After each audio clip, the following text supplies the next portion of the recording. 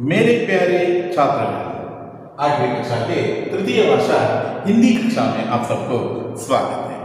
बच्चों, पिछली कक्षा में हम हरा घोड़ा बीरबल और अकबर के एक सुंदर चतुराई पर प्रतिबिंबित किया हुआ पाठ के बारे में चर्चा किए हैं। इस पाठ के माध्यम से हम जान सकते हैं कि बीरबल एक चाणाक्ष मंत्री है, यह हम जान चुके हैं। इसके प्रश्नोत्तर भी पिछली कक्षा में हम चर्चा किए हैं। आज की कक्षा में हम इसके व्याकरण अंश कहते हैं ना, वह तथा अगला पाठ के बारे में चर्चा करने वाले हैं। कहावतें या लोकोक्तियाँ, कहावतें या लोकोक्तियाँ। जीवन के कई अनुभव तथ्य प्रकट करने वाले स्वतंत्र वाक्यांश को कहावत या लोकोक्ति कहते हैं। नान नुडी इन कन्नड़ा कहते हैं ना वह जीवन के कई अनुभव तथ्य को प्रकट करने वाले स्वतंत्र वाक्यांश को कहावत या लोकोक्ति कहलाते हैं। कहावत कुछ कहावत है, उनके बारे में अध्ययन करना है तो जैसे कहावत है और उसके अर्थ है, एक अनाथ सौ बीमा।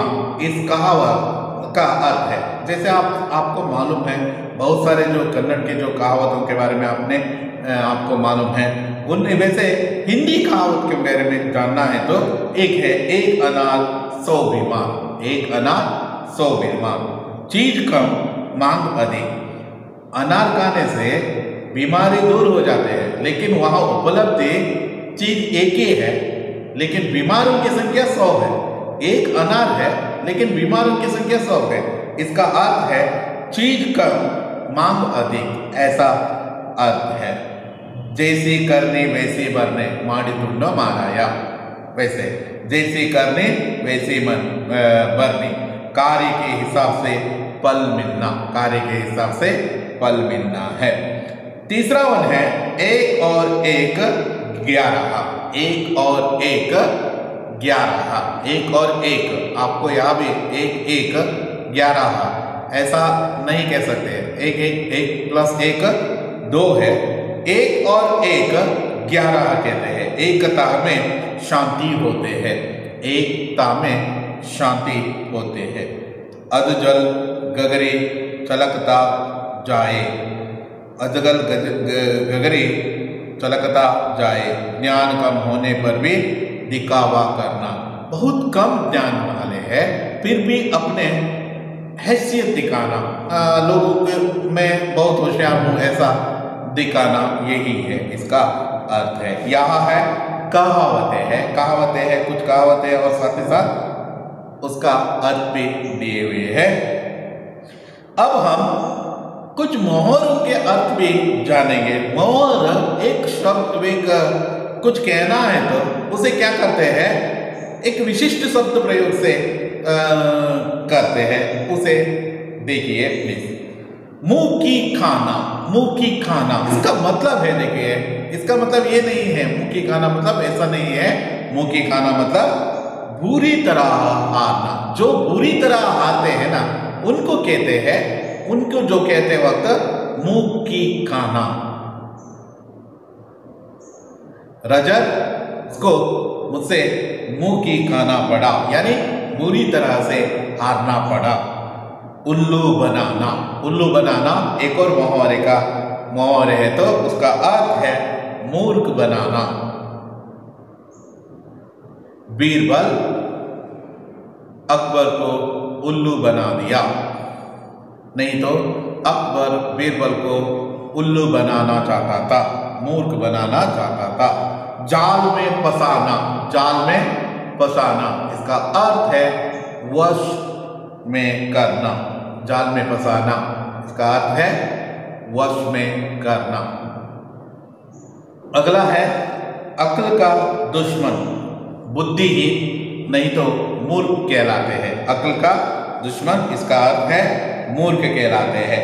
कुछ अन्य उदाहरणों के बारे में देखना है तो कमर कसना। कमर कसना वेरी इंपॉर्टेंट जो मुहावरे है, उसका अर्थ है तैयार होना। टांग अड़ाना। टांग अड़ाने का जो अर्थ है रुकावट डालना। किस्मतें खुलना भाग्य चमकना। बांडा फोड़ना। बांडा फोड़ना मतलब पोल खोलना। पोल खोलना मतलब रहस्य बाहर आना। इस तरह है मोहरे तथा कहावतों के बारे में अब हम अध्ययन किए हैं। आपको इसमें डाउट्स नहीं है, ऐसा मैं मानता हूँ। हम आगे बढ़ेंगे, क्योंकि अगला हमारा जो पाठ है, बहुत आसान पाठों में एक कहलाते हैं, वह है जीवनदात्री वर्षा। जीवनदात्री वर्षा है, देखेंगे। जीवन के लिए पानी अनिवार्य है। वर्षा वर्षा आपको मालूम है। वर्षा वर्षा किसे कहते हैं? रेल बारिश।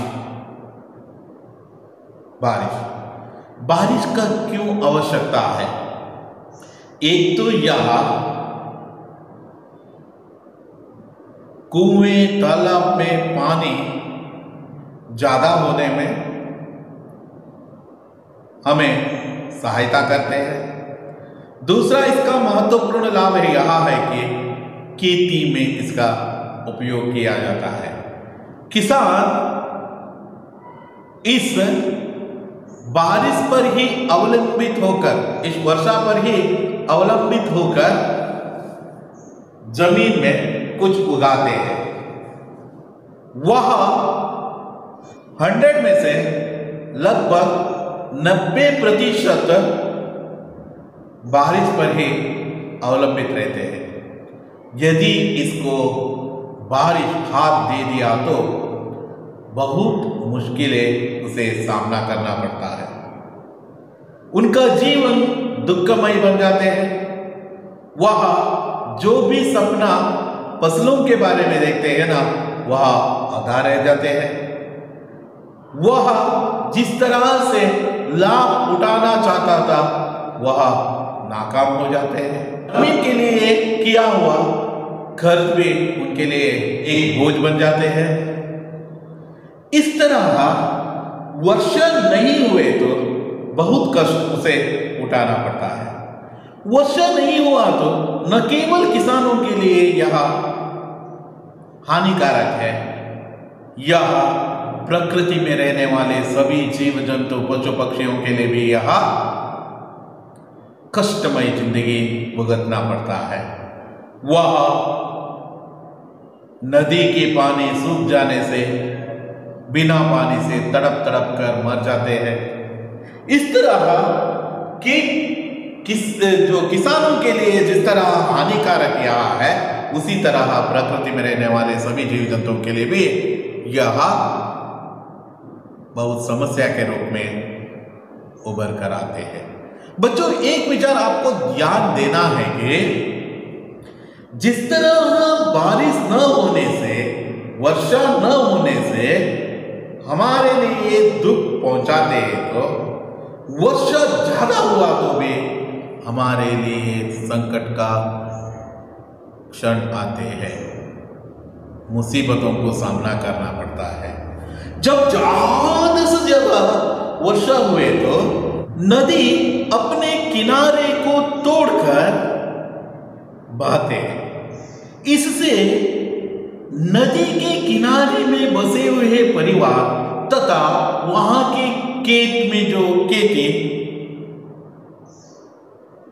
में उपजाए हुए फल, नहीं तो कुछ दाने। यह सभी क्या है? खराब हो जाते हैं। बहुत कष्टमय ज़िंदगी जीना पड़ता है। यहाँ वर्षा ज़्यादा हुआ प्राण हानि होने की संभावना भी है। बहुत सारे प्राणी, पशु, पक्षी जीव जंतु इस नदी में बह जाते हैं।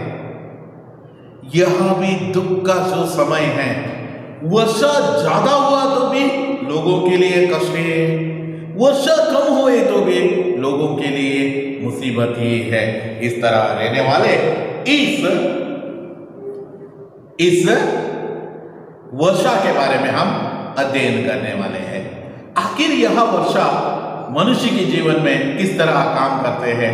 किस तरह बारिश के रूप में यह नदी की पानी बारिश के रूप में ज़मीन पर आकर दोबारा गिरते हैं? ये सब यहाँ देखने वाले हैं।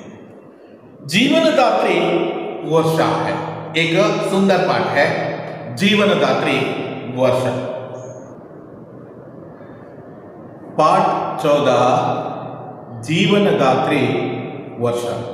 जीवनदात्री वर्षा यहाँ एक अद्भुत पाठ है।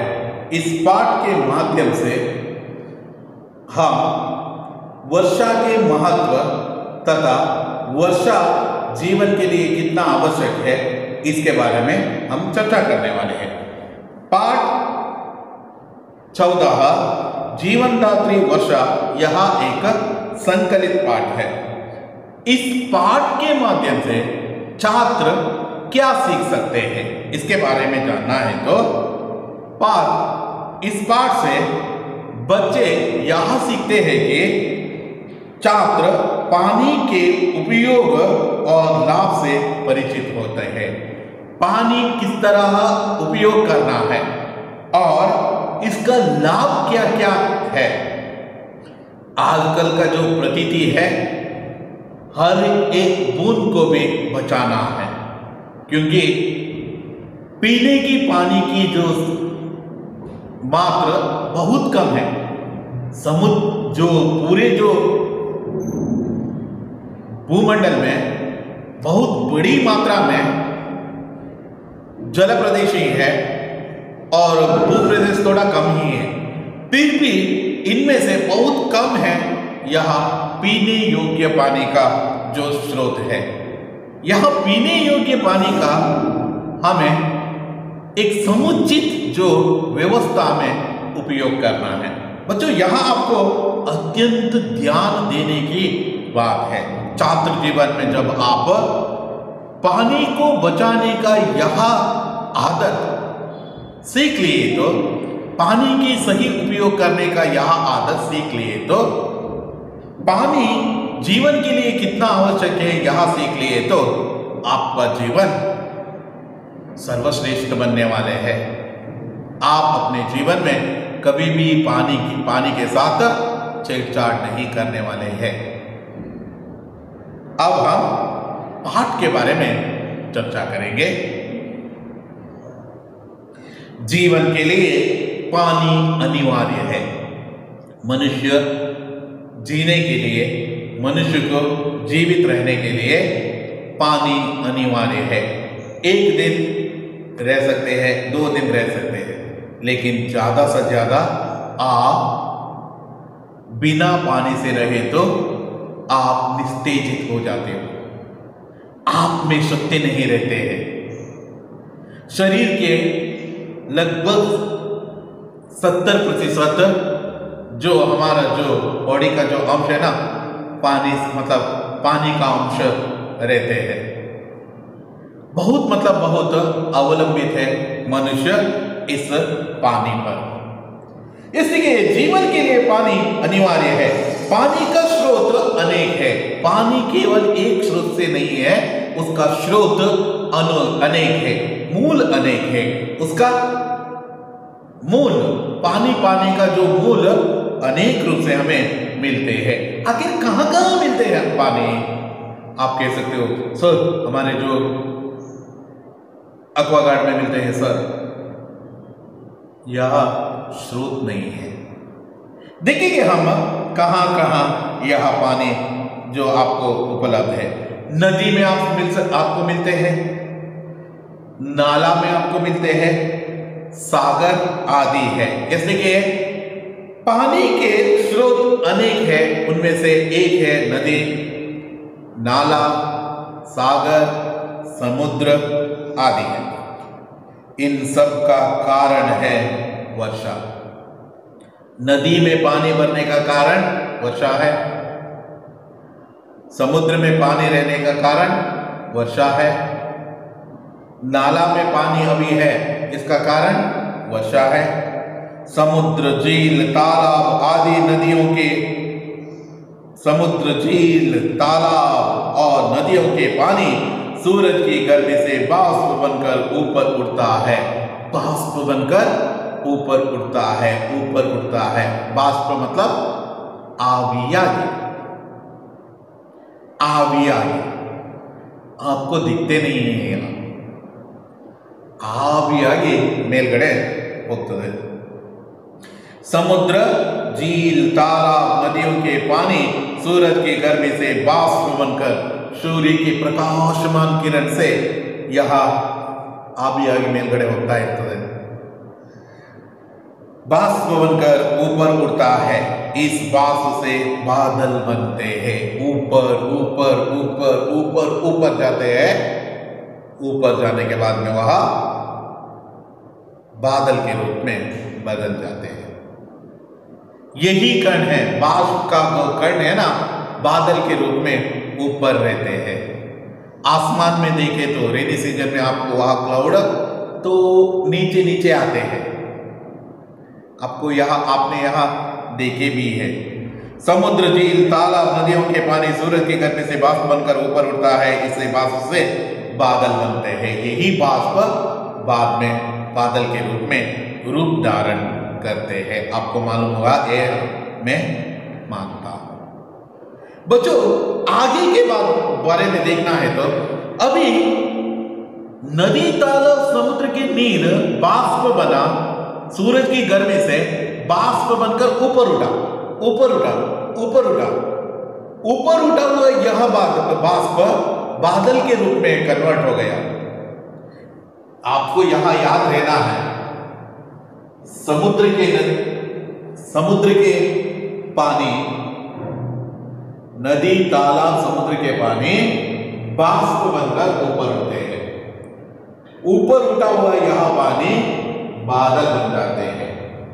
बादल जब ठंडी हवाओं से टकराते हैं, जब ठंडी हवाओं से टकराते हैं, यह बादल पानी के बूंद बन जाते हैं। आपको यहाँ याद रहना है, पानी के बूंद बन जाते हैं। बूंद का जो पानी बारिश के रूप में ज़मीन पर बरसते हैं। यही दोबारा नदी, झील, तालाब में जाकर मिलते हैं। यही है। यह कंटिन्यूस प्रोसेस है। ऐसे एक चक्कर की जो प्रतीति आप होते हैं। यहाँ देखिए, नदी, समुद्र के पानी, यहाँ झील ये सभी है। बाष्प बनकर ऊपर उठते हैं।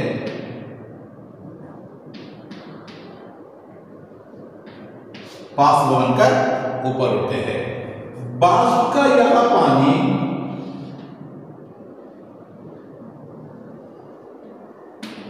बादल बनते हैं। ऊपर जाने के बाद बादल बन जाते हैं।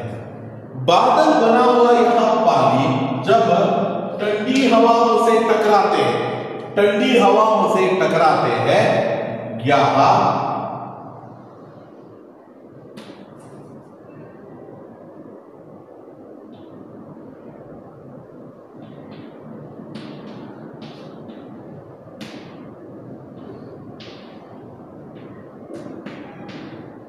पानी के बूंद बन जाते हैं।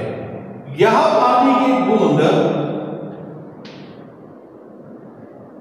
बारिश होकर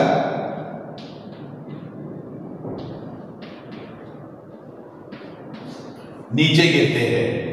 नीचे गिरा हुआ यहाँ सीधा आकर समुद्र में मिलते हैं।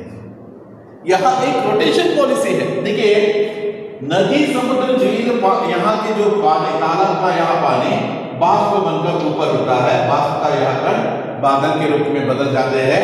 बादल का यह, बादल यहाँ ठंडी हवाओं से टकराने पर पानी के बूंद बन जाते हैं।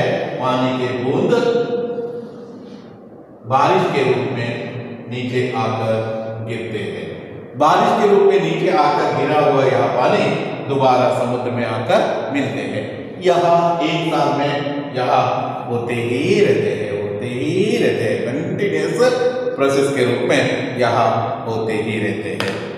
यह समझ लीजिए, देखिए, नहीं। बादल बनते हैं यह बादल जब ठंडी हवा से टकराते हैं, यह बादल जब ठंडी हवा से टकराते हैं, ठंडी हवा से टकराते हैं, पानी के बूंद बनकर, देखिए रहने वाले, इनमें रहने वाले बाष्प के कण पानी के बूंद बन जाते हैं। पानी के बूंद बन जाते हैं।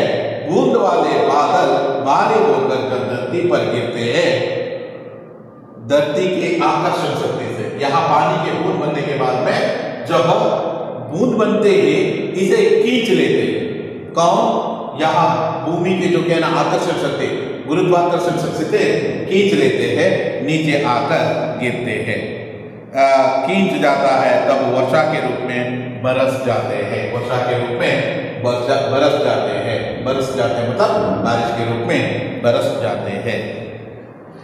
इस प्रकार धरती से बादल बादल से धरती तक का वाष्प का खंड या यात्रा बहुत रोचक है। देखिए या धरती से बादल गया, बादल से एक और बार धरती आकर आकर गिरा।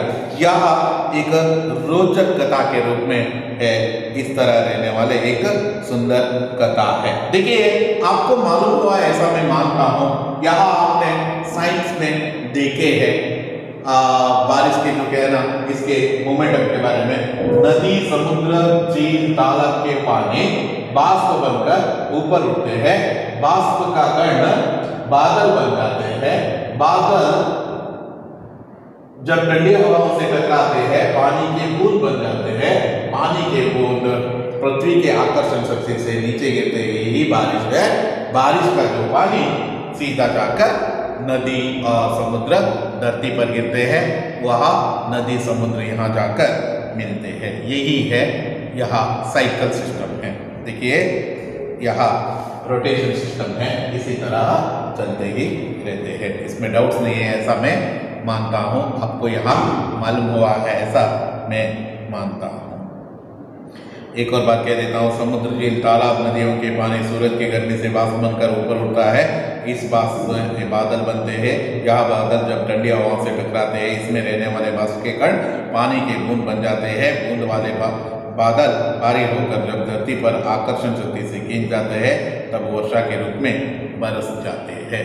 यह है आ, बारिश गिरने का यह मूल तत्व है। देखिए, धरती से ऊपर गया, ऊपर से एक और बार नीचे आया। यह रोटेशन पॉलिसी इस तरह रहने वाले जीवन दात्री वर्षा का पहले दो प्यारा के बारे में आज हम चर्चा किए हैं।